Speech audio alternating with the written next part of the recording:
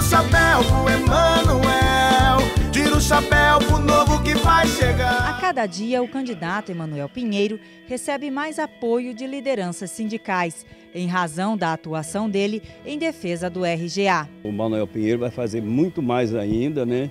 na prefeitura e como está fazendo para o servidor público do estado de Mato Grosso, lutando pelo RGA juntamente com o Fórum Sindical. Ele é merecedor do nosso apoio e merecedor também do apoio do servidor público, na qual viu a sua luta dentro da Assembleia Legislativa. Mas não é de hoje que Emanuel está ao lado dos servidores e, como prefeito, pretende fazer muito mais pela classe.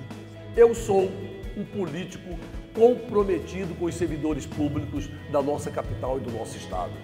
Somente com os servidores ao meu lado, como parceiro, respeitado, dito da alto, eu conseguirei propor as mudanças que estamos nos comprometendo com a população cuiabana. Quem conhece, vota Emanuel.